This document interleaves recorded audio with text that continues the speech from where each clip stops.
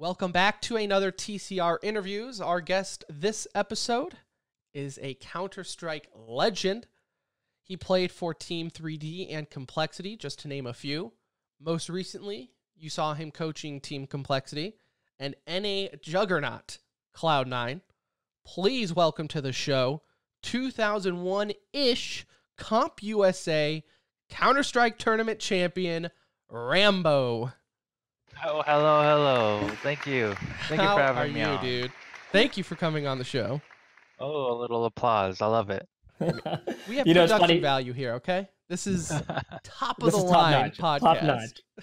You know, so it's funny because Tim mentions Comp USA, and this is a, a big joke. So I, I got to go back 15 plus years now. So we're going back to like 2001, 2002. 16 year old Anu just sitting in his room and gets introduced to Counter Strike for the first time. So I immediately dive into this game, fall in love with it, start looking up pro players, obviously. And two people kept coming up in my searches, and that was Rambo and that was K Sharp. And so I very, very closely followed y'all's career, highlight plays. I mean, really, it, again, it's a big joke on the show because people know on the show that I idolize you from an esports perspective. And there's a funny story that I've been waiting. I've been waiting for years to be able to tell you this story. So back in 2001, 2002 timeframe, you just joined onto Team 3D. You and a couple of your buddies come down to Comp USA here in Hurst, Texas, and it was a local little tournament. I have no idea why you decided to come there and embarrass anybody that you played against over there, but we had an opportunity to meet you at that event. You pulled up in your, I think it was like a white prelude, if I'm not mistaken, back then that you, you might have had. And we were like, oh my God, look at like look at this esports player, bought a car, living the dream. We got a chance to play y'all in this event. I you weren't with your team 3D. I think it was just you and, and some of your friends that attended. Y'all smoked us. I think it was like a complete shutout. We did not get a map round against y'all, but I did get something vital out of this meeting. Until this day, it's changed my gaming habits forever. When I first met you, I was using the arrow keys on my keyboard to move around. Didn't really PC game much. That seemed like the obvious, hey, this is how you would get around, right? You saw me playing and you came up to me and you go, you should use WASD. There's more keys around it for you to kind of navigate around the keyboard because you saw all of me and my whole crew using the arrow keys. We did change over to that immediately, and I, I thank you for that. So again, it was like a really, really neat thing for me because obviously we all have inspirations in esports and Tim and I, you know, do this because we love esports, and you know, just want you to know and, and thank you, you know, for for everything you've done for for esports, and just wanted to let you know that you're you're one of the uh, big dogs on this show. Yeah, I mean, 2001. I mean, that's like way back. you Way know? back. I mean, most people probably listening don't even know what Comp USA No, is. no, I agree. Easily. But it, it was like the Best Buy at the time. Yeah. Or Fry's or Micro Center. And it was like the Uh, store shout out Circuit City. your electronics. so they were one of our sponsors. So they would, you know, hop around their stores and do little show meets and stuff. But yeah, I mean, like back then, like we were like still figuring out how to use the keyboard and like what the optimal like Yeah. bindings are.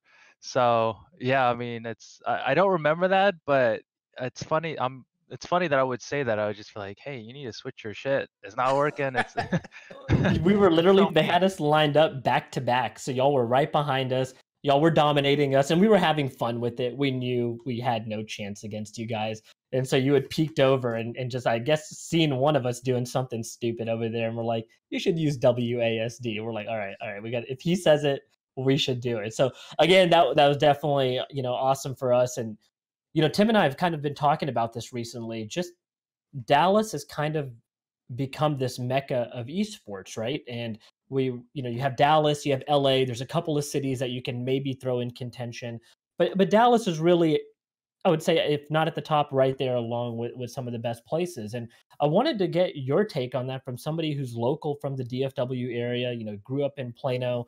Um how have you seen that transition take place and and you know you've contributed to the growth so just wanted to get your overall perspective on on the growth in dfw itself for esports Yeah, so I think i think Dallas was the birthplace of esports. Um, I think it started around like 90, 1996, 1997, And thanks to the CPL, the Cyber Athlete Professional League, and QuakeCon, there were the two international gaming events that would happen in Dallas, Texas, and they're um, owned by id Software. So when Quake was, you know, the pinnacle of esports um, before Counter Strike, they were having international events all here in Dallas. So all the best players from the world would fly down to compete here to be to you know try to claim the championship. And then when Counter Strike came out, um, that's when the CPL kind of uh, was born, and that's when they also um, started using Counter Strike. So you know, lucky for me, I was here in Dallas, and it was only a 30 minute drive. So um, we were able to attend those events. So from like 90, 97 to like 2002, all the international events for Counter Strike and Quake all happened in Dallas. Used to be at that Renaissance Hotel, right? I think is where they used to host a lot of these events at in those lands and and all that. Yeah, I mean that it's it is crazy to see how it you know now we have the esports arena here, we have complexity here, we have Team Envy here, and and I don't really see it you know kind of stopping anytime soon in this area. I remember you know, back this had to have been like 2005, the Embassy Suite in Frisco, like where it's now. It, back then, it was in the middle of nowhere, but now it's all built up, right? Frisco and everything there. MLG was set there, uh, and I remember thinking like esports will never get bigger than this. Like I remember I looked at we were like 14, 15 at the time. I looked at my friend that we went. We were like, "There's people here watching people play Halo." Like this is nuts. And then, like Anuj said, I mean, Rambo, you saw it from the inside. Complexity, you weren't there to see it complete, but you you saw the blueprints of how they were working with the Dallas Cowboys and everything, finishing that. Did did Jason Lake and everything like did they consult with you as far as hey, what should we have here for our players? Um. So yeah, I was uh, with complexity at the time when they were building out the headquarters at the Star, and um, I mentioned to them that they had to have some kind of replay room where the players and the coach and the staff and the analysts could go and load up the demos of the practice scrims. They could all sit down, put it on a big screen, and be able to fast forward, pause, replay, and you know break down all the plays. So that's one of the rooms that they implemented there. And I actually got to visit there about two or three weeks ago and it's incredible. It's like you know top notch, one of the best headquarters that I've, I've ever been to. Obviously, being funded and backed by Jerry Jones and the Cowboys, and like literally being right on the corner of like the street of where the headquarters of where the Cowboys are. It's like prime location. So it's amazing what they've built over there. What do you think of the new complexity lineup? I I think there's a lot of promise. I specifically and in particular like uh, the BlameF pickup.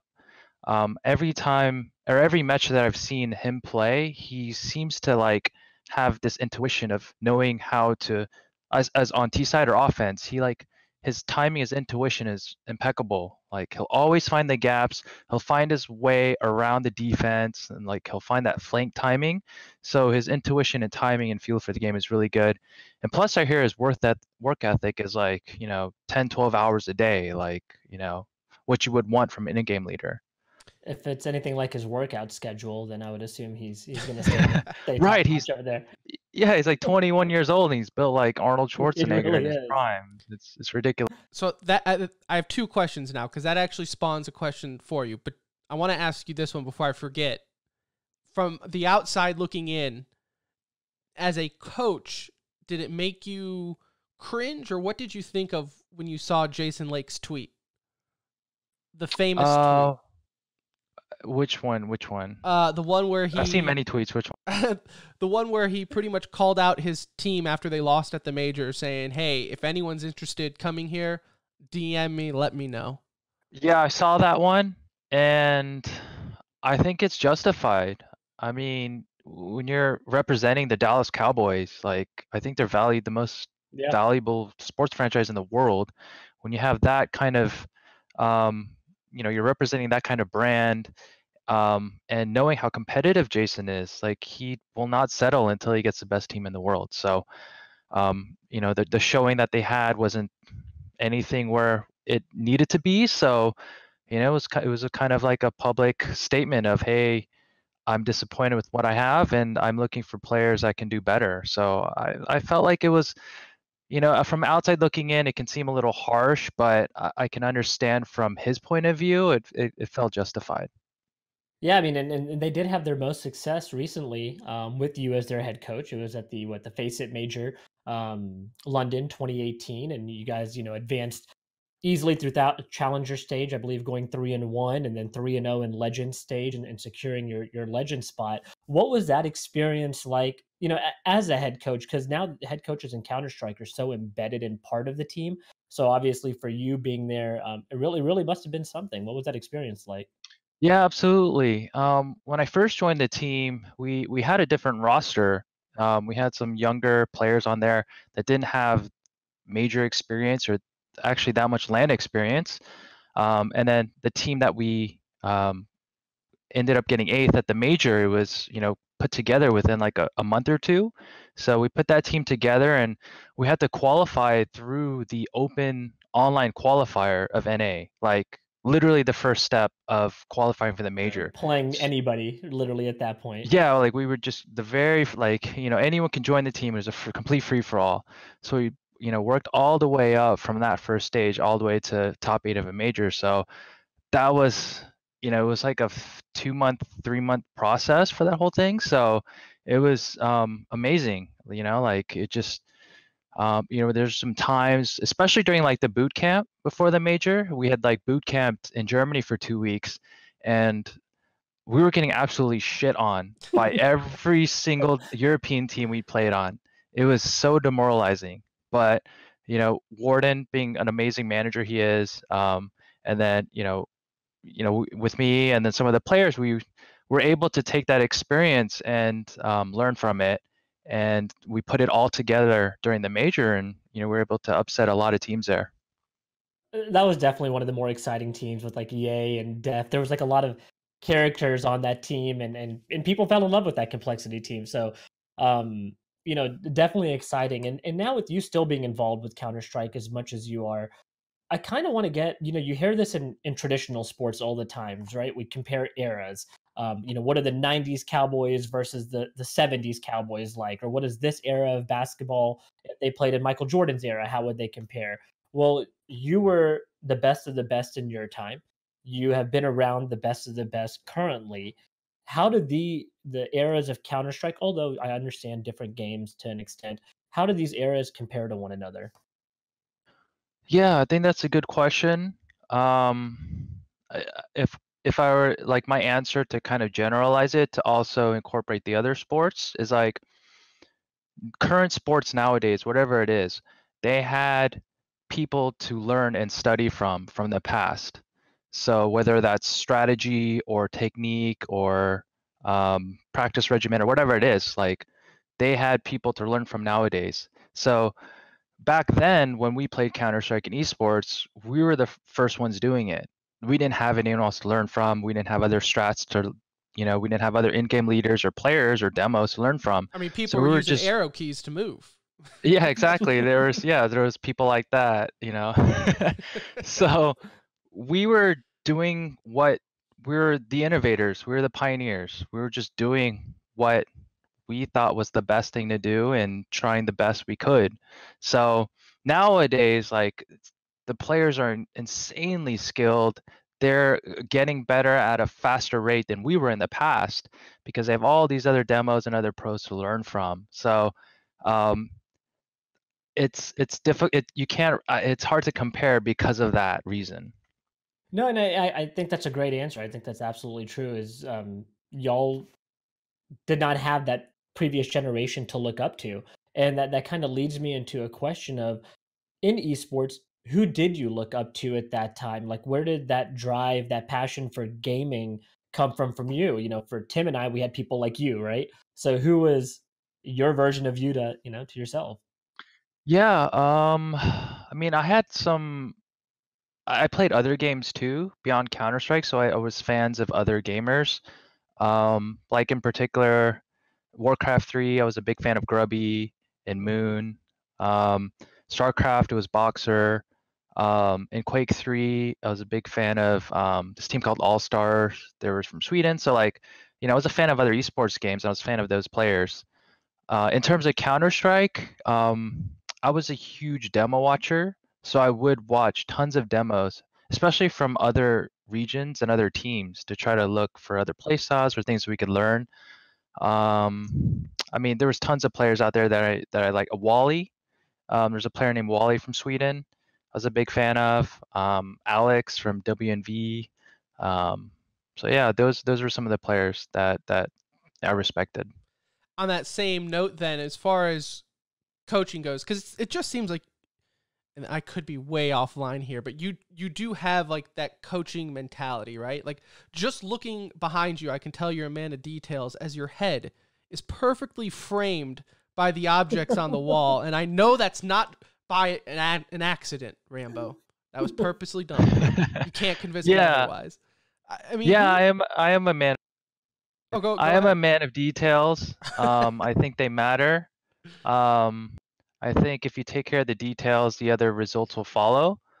Um, So, Yeah. so, for my question then, when it comes to coaching inspiration, because Anuj, we've already talked about, it, like that was such a rare thing in esports. Like I remember back in Halo days, you had coaches, and they were more in-game management because of times and weapon spawns and things like that. But they were very few and far between still. Like, did you look at traditional sports for that coaching inspirations or anything like that?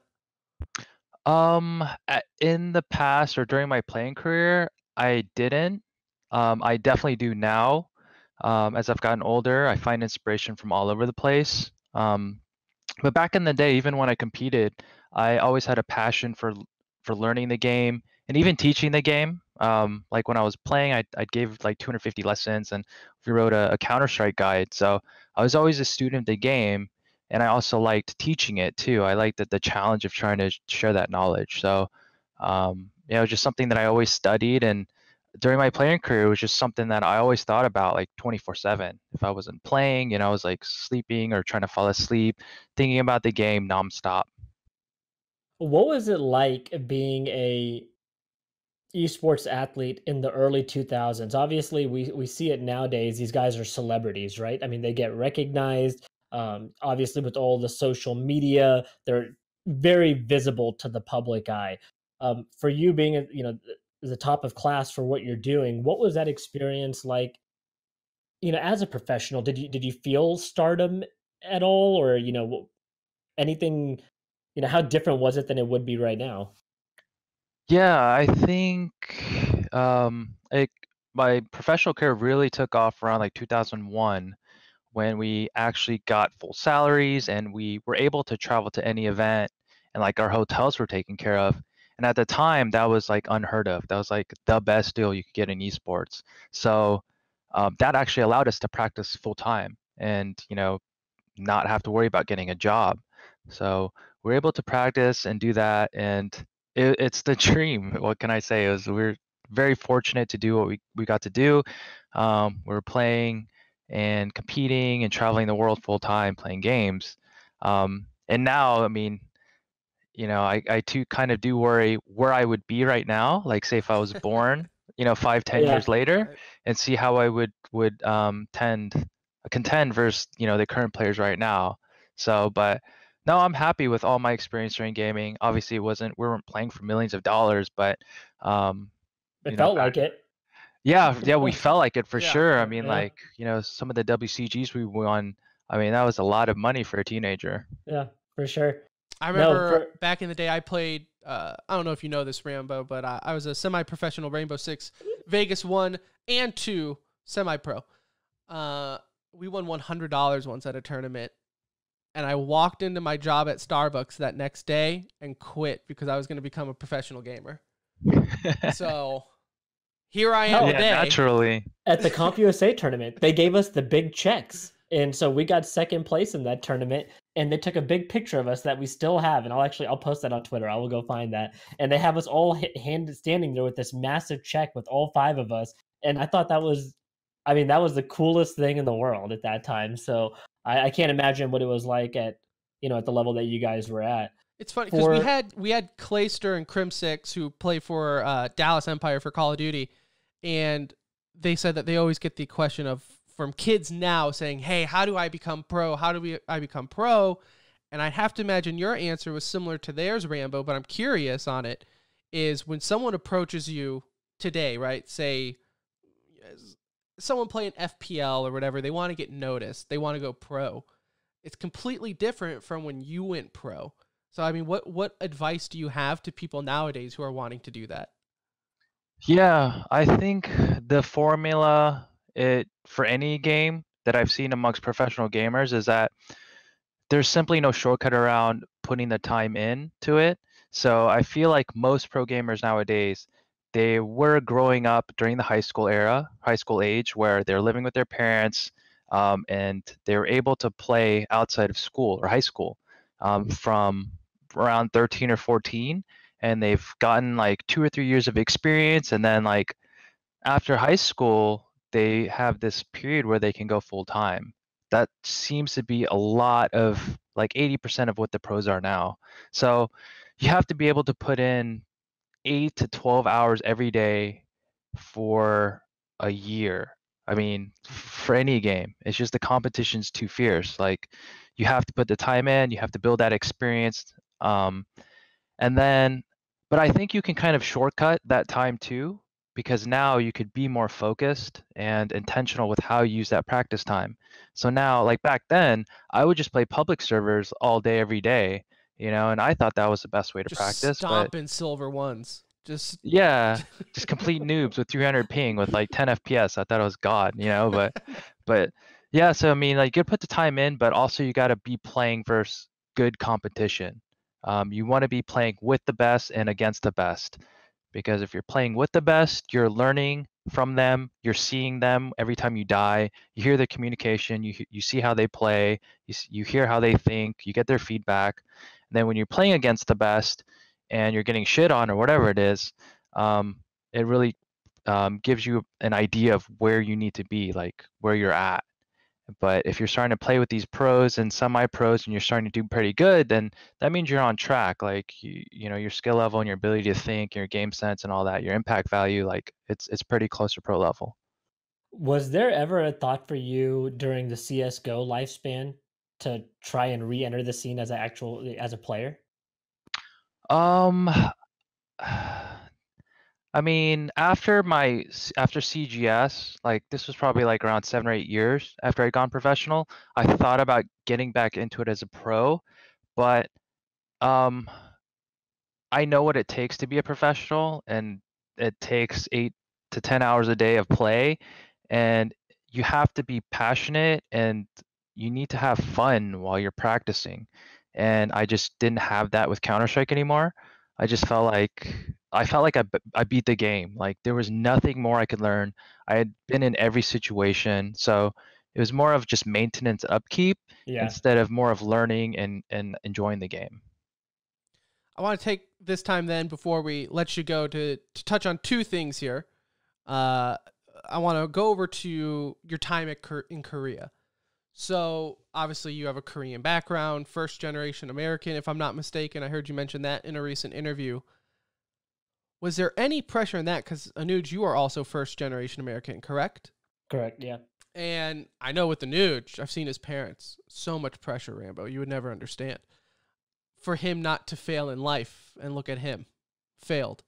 But you have Right. succeeded. But was there any pressure there, like convincing your parents to be like, "Hey, I'm first generation American son over here. I'm gonna go play video games." Yeah, so I think um, I, I certainly had that pressure from my parents, um, especially being Korean and Asian. Um, it's all about academics and school and go to college and you know take that sec- that safe career and path. Um, but I was also kind of lucky too because I was uh, the only child and my parents were often at work. So my dad had to keep me entertained while they were gone. So he bought me like consoles and like computers and you know like internet so I could entertain myself. so um, you know anytime they were at work, I was able to play. And then um, eventually it got to a point where I was playing a little bit too much. So they would hide my keyboard and mouse and you know I had to go find it and then you know I could play and then you know hide it back when they were before they got home. So I definitely had some of that pressure from my parents, but when I started being able to travel and I started getting a salary and stuff, and they they saw that it was actually bringing some value, um, they were fully supportive. And I know on our show we always have the stereotype of if Korea ever really wanted to get a team and focus in a scene, so like whether it be Counter Strike or just pick a game, right? Koreans always seem to be a top tier team in that respective esport. Now that's the stereotype on our show. But when you when you lived over there and when you coached over there, is that stereotype warranted? Like do they just prep differently than Americans or Europeans do? Yeah, that's a really good question. Um, that's something I've thought about a lot actually. Um, you know, like, you know, StarCraft, I think they kind of was the pioneer in the forefront of StarCraft and they dominated that because they were the first to start. Yeah. But then when League of Legends came out, when everyone had this fresh, clean slate, they were still able to, you know, be very successful in Overwatch. Dom- I Um, mean, they control the meta in Overwatch. It's like no one even bothers about what the meta is until the Koreans figure it out. Yeah, I I don't I mean, I'm trying to think if it's I there might be some cultural um a factor to it. They're I think Koreans are super very disciplined. I think they're one of those cultures where like when someone finds an interest, they're kind of like all in. Right. And you'll see this with golfers from Koreans like as soon as they're little kids and they find an interest, like their parents are like, you know, push them all in for that 100%. discipline. And I think that mentality, I kind of have it too. Like whenever I find I have an interest in something, I'm like super addictive or like I put all my time and effort into learning it and the best I can. So I don't know if it's genetics or culture, um, but I, I think the commonality that I've seen in Korea is that they're just super laser focused whenever they find something they enjoy. And maybe that's, I think the Japanese culture is kind of in that way too, where they like pick a discipline and they just focus their entire life on it and they just want to master it and they don't veer off. It's not like, you know, they, they try to master all these kinds of disciplines, just like this one thing that they love to do. Well, you you heard it there. If you want to be the best at esports, move to Korea. Game over. No, you know one one thing I want to touch on before we, we do move on here is um you tweeted out not too long ago, a couple months back, um, regarding Riot's FPS game Project A. Um, and, and it looks like you had some involvement here. I, you know, obviously I, I don't know exactly what you're doing with them, but um, can you give us any insight as to maybe your thoughts on at least what you've seen of the game, um, maybe what they're coming up with? Does it excite you? I mean, just um, as much info as you can give there. Yeah, sure. Um, so yeah, so I'm still under NDA, so I can't really say too much, but um, just for people that haven't seen my Project A interview, one of the senior game designers and map developers, uh, Volcano, he's been working at Riot Games for about four years. He's a former teammate of mine in Team 3D, and he invited me and nine other former veteran FPS players to come down and try their new FPS game called Project A. And they flew us down for four days and um, they had to try this new game out about it's been a while now so about six months ago. And um, i could say that this could be potentially the next contending like a top five fps esports game. Um, and this was when i tested it about six seven months ago. So um, i think they're on track. Like the gameplay the feel the mechanics um, the maps, um, everything about it, it just like screamed competitive esports FPS game. Um, and and the people that they have working on it have that experience of being at the top level of FPS um, competition. So they've got the staff, they've got obviously the backing of Riot Games, which has League of Legends. That's huge. So they have the, that it's it's it's not the some indie biggest. developer, right? Yeah. sure. s- So they have the infrastructure and um, so I think this game it's gonna be I think it's gonna be a huge hit, huge hit. Did you like the combat style that they have, where it is a shooter, but it, but it looks like also class abilities as well? Is kind of what we got from the video that they posted. Like they had some, you know, obviously more like either whether it's magic or whatever you want to call it. But do you like that combination that they're putting together there between the two?